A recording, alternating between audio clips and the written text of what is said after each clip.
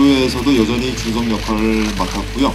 친구 2에서 성훈, 최성훈 역을 맡은 김호빈입니다. 귀한 시간 내주신 거 네, 고맙습니다.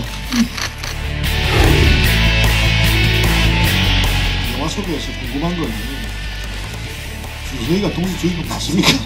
그 이야기에 대한 어, 정확한 그 해- 해답을 원한다 관객들이 그 영화 끝나고 나서 많은 분들이 이제 어 아니다 맞다 아니다 이런 얘기 있었는데 아마 그날의 사건을 통해서 그것에 대한 궁금증 때문에 어찌 보면 좀 친구가 만들어진 게 아닌가 생각을.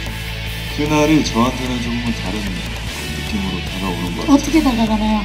그날 어, 그 일이 없었다면 제가 또 이 영화에 참여하지 못했을 테니까 저한테는 감사한 날이 아닐까.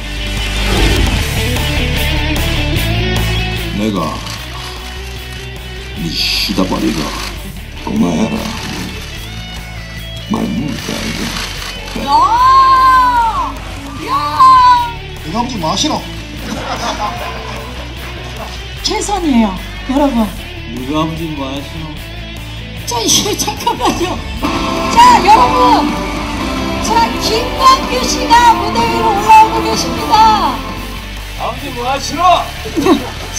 말해라. 그런 데 그거는 준성씨인데. 영화 대박을 기원하고요. 예, 저는 마지막으로 물러났어요. 예, 아버지 뭐 하시나 삼 아버지 뭐 하시노? 아버지 뭐 하시노? 아버지 뭐 하시노? 그 동수의 죽음에 대한 그 비밀이 좀 열리는 측면이 하나 있고 좀 외롭구나 그런데 영화 보고 나시면 그래도 위안을 좀 받지 않으실까 생각합니다 귀한 시간 내주셔서 너무너무 감사드리고요. 욕먹을 각오하고 있습니다. 대신에 적게 먹고 싶습니다. 감사합니다.